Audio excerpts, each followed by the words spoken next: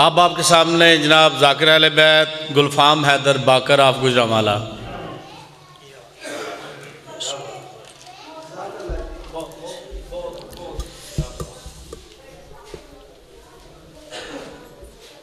अज़बिल्लिमिनशैतानरजीम बसमीम दुआ है मोहम्मद वाल मोहम्मद का खालिक।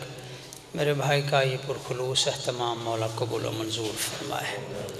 भाई के मौला रिस्क में खैर बरकत अता फरमाए। देखो जाकर जब जाकर के पास जाता है तो सिर्फ़ दुआ गो बन के जाता है पुरसादार बन के आता है। तो आज तो आ, मालिक का एक निज़ाम है पुरसा भी एक साहब से डबल हो गया एक ज़ाती पुरसा और एक मालकों का पुरसा।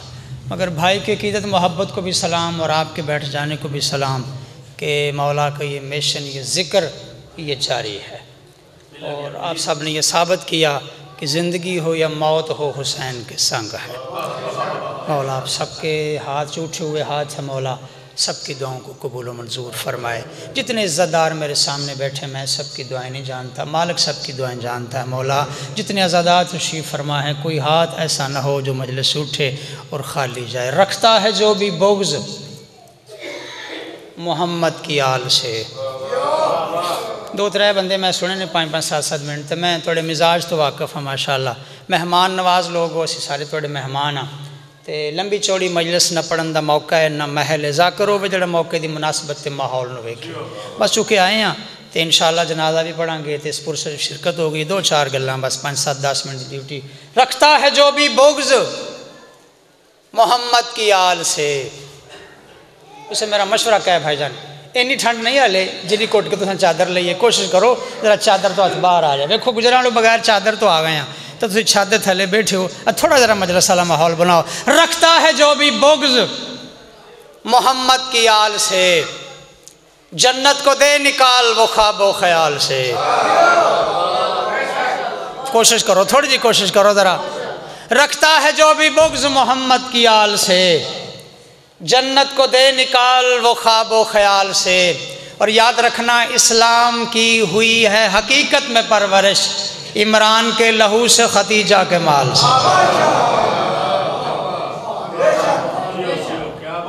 इमरान के लहू से खतीजा के माल से। याद रखना रबी अव्वल के आखिरी आखिरी दिन जा रहे हैं। हर मस्जिद में, हर चौक में, हर जगह, हर घर में, हर डेरे पे रसूल की आमद की मिलाद की महफिलें मनाई गई हैं। मगर दोस्तों, याद रखना, मिलाद मनाने का हक उसे है रबी अव्वल में, जिसने मुहर्रम और सफ़र में हुसैन का गम मनाया। क्यों? एक जैसे हैं मुस्तफ़ा हुसैन। एक जैसे हैं मुस्तफ़ा हुसैन। ख़ुद शह मशरकैन कहते हैं, और तुम जिसे या रसूल कहते हो, हम उसे या हुसैन कहते हैं। मिल के हैदरी। तुम जिसे या रसूल कहते हो, हम उसे या हुसैन। और याद रखना रबी अव्वल में बादशाह की आमद की खुशियाँ मनाने का दर हकीकत हक उसे है, जिसके ताल्लुकात अबू तालब से कुछ मुनासिब है।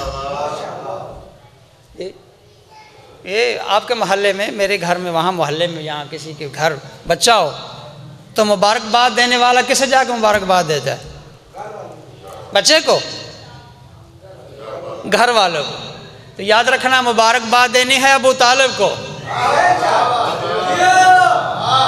जिसकी जिसकी आओ, जी भाई जान को हुक्म है जनाब आपस में जी मुबारकबाद किसे देनी है? जिसकी आगोश में मुस्तफ़ा पला है। जी, रसूल डाल के इमरान की पाक झोली में। मोहतरम आपसे लेकर उस भाई बड़े भाईजान तक, उस बुज़ुर्ग तक, हर हाथ उठे तो फिर मैं मुतमिन हूँ। मेरे पास कुरान की दलील ना हो मुस्न तरीक़ का हवाला ना हो तो मुझसे बंदा खड़ा होकर मजलिस में सवाल करे, गुलफाम करे, रसूल डाल के इमरान की पाक झोली में कहा, जलील ने बातल को बुर्द करते हैं। हर बंदा तो खरीदार ने जो लफ्ज़ों का खरीदार है, वो तो मेहरबानी करे। रसूल डाल के इमरान की पाक झोली में कहा, जलील ने बातल को बुर्द करते हैं और अली के बाप अमानत संभाल कर रखना। क्यों? हम अपना आप तुम्हारे सपुर्द करते हैं। अली के बाप अमानत। भाजी आखिरी चार मिसरे फजल अली के बाप अमानत संभाल कर रखना। हम अपना आप तुम्हारे। हर में हक के निगेबान को काफिर न कहो। कौन? कुरान कहता है माँ का न मोहम्मद अबाहदम खबरदार मोहम्मद तुम मर्दों में से किसी का बाप नहीं तुम में से किसी का बाप नहीं हसनैन का है फ़कुल तालो न दो अपना ना वबना कुम व निशा ना व निशा कुम वन फसना वन फसकुम सुम नब तहल फनज अल्लाह नतल्लाकाजबीन याद रखना हसनैन मोहम्मद के कुरानी बेटे हैं जी याद रखना गुलफाम कहना कर, कहना मैं ये चाहता हूँ जिसे कोई बाप नहीं कह सकता अबू तालब उसे बेटा कह के बुलाता है। अबू तालब उसे कौन अबू तालब? जिसके दस्तरखान के एक कोने पे बैठ के आखिरी दर्जे की रिसालत रोटी मांगे। दस्तरखान के दूसरे कोने पे बैठ के आखिरी दर्जे की विलायत रोटी मांगे। उस शहनशाह को अबू तालब कहते हैं। मशवरा है मेरा, फ़जाइल का मैं आखिरी जुमला कह रहा हूँ। जी, मशवरा है मेरा, हर में हक निगेबान को काफिर न कहो। दीनों ईमान के ईमान को काफिर न कहो। फैसला कौन बात है अगर आप सबकी तवज्जो हो। मजलिस का ज़रा माहौल बदल गया ना तो आपकी तवज्जो उस तरह मजलिस में है नहीं।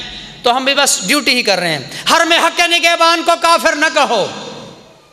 दीनों ईमान के ईमान को काफिर न कहो और याद रखना, अब वलीयत है खदीजा को सभी माओ में ख्याल करो, कम से कम माँ के निकाह खान को काफिर न कहो।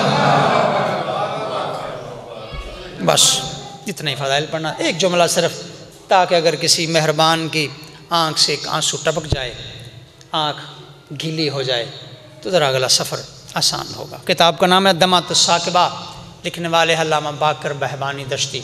वो फरमाते हैं, कोई पढ़ने वाला पढ़े, सुनने वाले सुने।